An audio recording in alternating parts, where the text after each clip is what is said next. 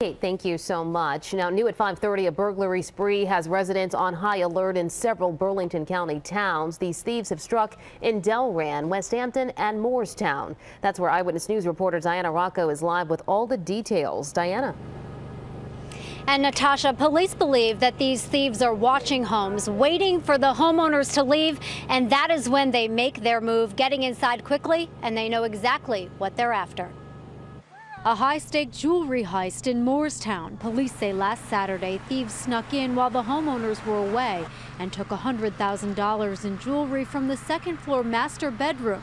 It happened on the 900 block of Borton Landing Road. My daughter's wedding was on Saturday, and the, they were at our wedding.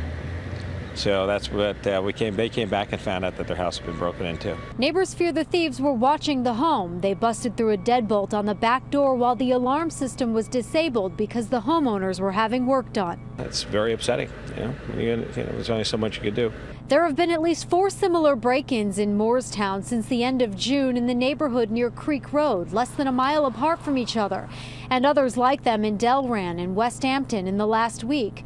Those departments are all now working together. The method of entry uh, was consistent with Moorestown. That's still being worked on.